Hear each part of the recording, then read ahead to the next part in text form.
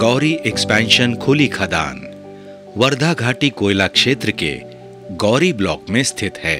ये बल्लारपुर कॉलेरी के दक्षिण पश्चिम में स्थित है और चंद्रपुर ज़िले की राजूरा तहसील में सास्ती खुली खदान के निकट है। यह खुली खदान वेस्टर्न कोलफील्ड्स लिमिटेड के बल्लारपुर क्षेत्र के अंतर्गत आती है। गौरी एक्सपेंशन खुली खदान 1991 से शुरू है।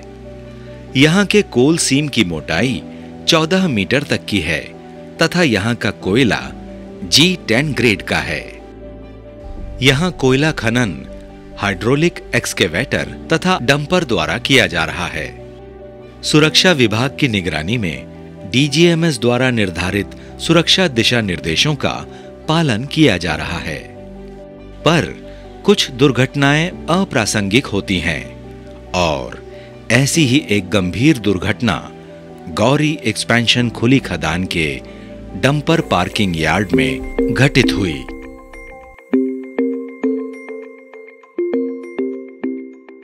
दिनांक 16 अप्रैल 2021 के दिन सुबह करीब आठ बजकर पंद्रह मिनट पर dumper maintenance team parking yard में मौजूद सभी डंपरों को चेक कर रही थी।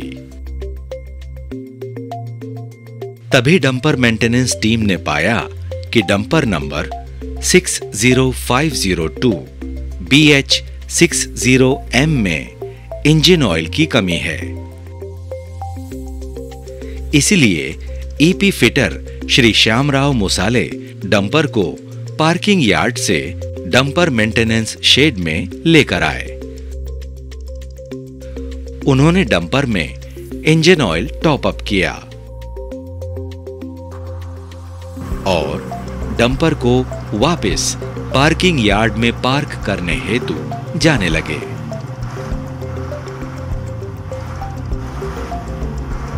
सुबह की शिफ्ट होने की वजह से आरसी ऑफ़िस और मैनेजर ऑफ़िस में चहल पहल थी।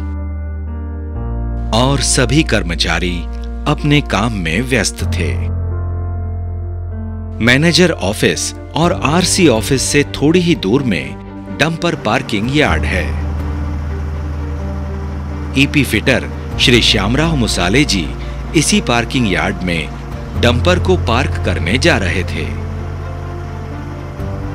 उन्होंने पार्किंग यार्ड की ओर डंपर को मोड़ा और वहाँ पहले से ही खड़े दो डंपरों के बीच इस डंपर को पार्क करने के मकसद से डंपर को ले जाने लगे। तभी उनका अंदाज़ा गलत हो जाने के कारण उनके डंपर की रेलिंग बगल में खड़े डंपर के पिछले हिस्से से टकराई, जिसकी वजह से ज़ोर की आवाज़ आई, जिसे ऑफ़िस के पास खड़े कुछ लोगों ने सुना। और वे चिल्लाने लगे।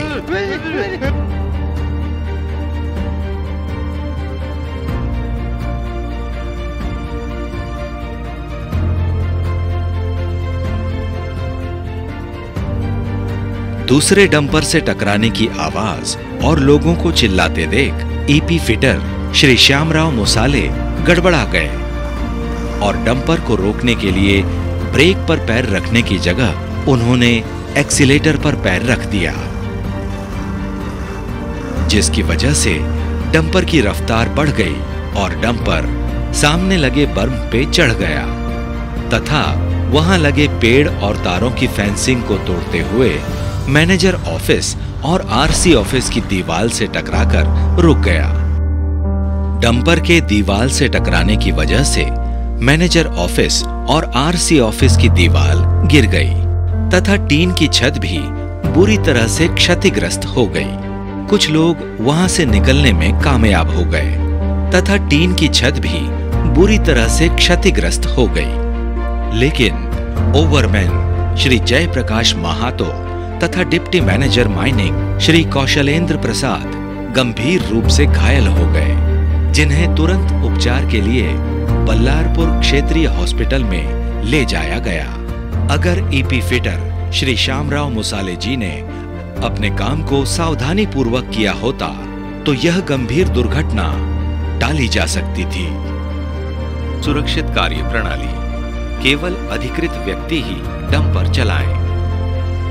डंपर ऑपरेटर कार्य का विवरण सक्षम अधिकारी या सुपरवाइजर से लें डंपर का निरीक्षण करें तथा विभिन्न प्रणालियों, उप प्रणालियों तथा रक्षात्मक युक्तियों की जाँच करें। Air pressure, emergency steering, brakes की हालत, engine oil pressure gauge, water temperature gauge, transmission pressure gauge आदि को चेक करें।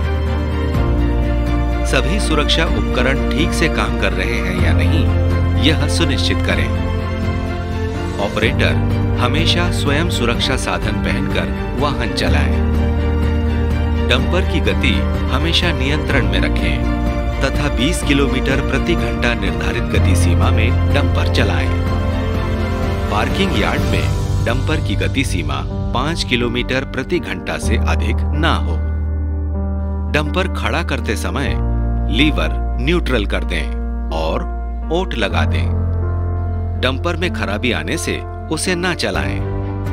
खराबी की जानकारी सक्षम अधिकारी या पर्यवेक्षक को दें तथा लॉग बुक में दर्ज करें और हस्ताक्षर करें। डंपर आगे बढ़ाने के लिए दो बार और पीछे हटाने के लिए तीन बार हॉर्न बजाएँ और पीछे का भाग साफ़ दिखने पर ही डंपर रिवर्स करें। पार्किंग यार्ड में दो डंपर के बीच में कम से कम तीन मीटर की दूरी रखें। डंपर पार्किंग इस प्रकार करें कि डंपर का मूवमेंट भारी भीड़ वाली जगह की ओर न हो। पार्किंग यार्ड में तीनों बाजू से पर्याप्त ऊंचाई और चौड़ाई के बर्म बनाएँ। डंपर को पार्किंग यार्ड में सुरक्षित पार्क करने के बाद पार्किंग ब्रेक अवश्य लगाएँ। और दो मिनट आइडल रखने के बाद ही इंजन बंद करें। डंपर पार्किंग करते समय जल्दबाजी या लापरवाही ना करें। कार्य के दौरान मोबाइल फ़ोन का उपयोग ना करें। नशीले पदार्थों का सेवन ना करें। ड्यूटी पर ना सोएँ। रेगुलेशन 109 के अधीन बताए गए यातायात नियमों का पूर्ण रूप से पालन करें।